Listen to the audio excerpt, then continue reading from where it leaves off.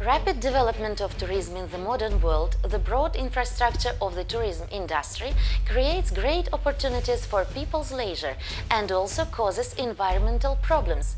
Thus, eliminating the harmful effects of tourism on ecology is one of the important tasks facing the modern tourism sector. Azerbaijan is actively working for the development of ecotourism and agrotourism. Vice President of Heydar Aliyev Foundation, Leyla Aliyeva, gave an exclusive interview to the Tourism TV about the development and promotion of ecotourism and its great importance for Azerbaijan. Always there's changes, uh, construction is going on and more and more people are coming. But I think it's very important now to develop ecotourism in Azerbaijan because we have incredible nature. And this way we can protect the nature and let people enjoy it at the same time. Earlier, the Ministry of Ecology and Natural Resources of Azerbaijan stated that Azerbaijan will develop its ecotourism concept soon. The work in this direction is being carried out in cooperation with foreign experts. For instance, foreign experts who recently came to Azerbaijan at the invitation of the State Tourism Agency familiarized themselves with national parks. In recent years, the creation of diversified tourism infrastructure in Azerbaijan has increased the interest of foreign tourists in the country. Interest in ecotourism and